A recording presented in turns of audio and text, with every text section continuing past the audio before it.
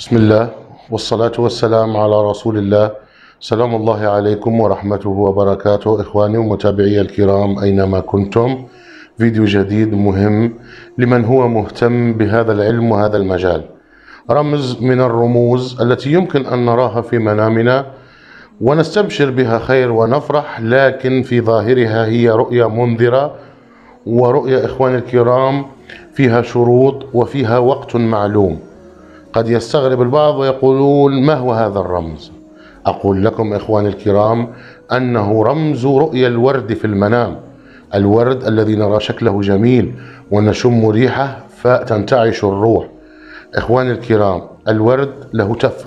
يعني تفصيلات كثيرة في المنام لكن على عمومه هذه التفصيلات وهذه البشارات القادمة كما نقول أنها لا تدوم طويلا ارتباطا بأن الورد يذبل بسرعة ولا يدوم طويلا.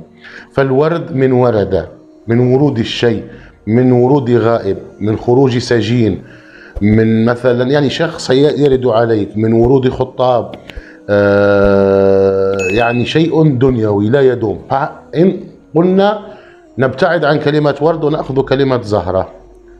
وربي قال زهرة الحياة الدنيا ولا تمدن عين ولا تمدن عينك لما متعنا به أزواجا منهم زهرة الحياة الدنيا.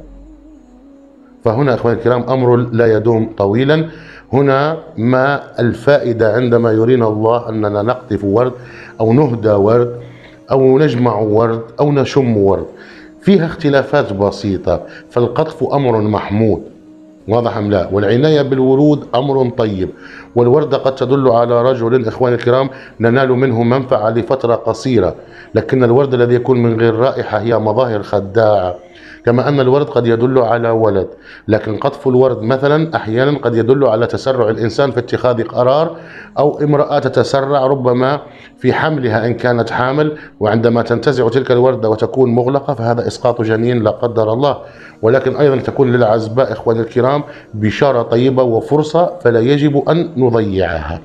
أنا دائما إخواني الكرام في فيديوهاتي لا أريد أن أعطيكم آه، رموز يعني ماذا يعني واحد مع واحد يساوي اثنين. لا لأن مجال التفسير أمر مفتوح يعني باب مفتوح جدا.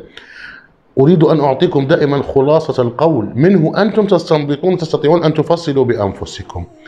الورد يا إخواني الكرام هو أمر طيب في حالات كثيرة.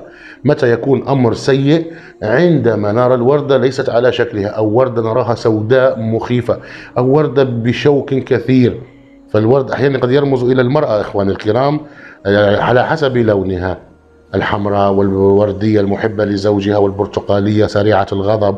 وسريعة الإثارة يعني أشياء كثيرة لا أريد أن أدخل فيها تعلمونها بمرور الوقت أو عندما نفسر الرؤية لشخص ما. فالورد أعيدها ختاما إخواني الكرام. الورد هو أمر طيب لكن إخواني الكرام فيه تنبيه وتحذير من عند الله. يعني هذا أمر سيأتيك لفترة زمنية قصيرة. يجب أن تستغل تلك الفترة الزمنية على قدر الإمكان. ممكن تكون فرصة تأتيك وتضيع لا قدر الله.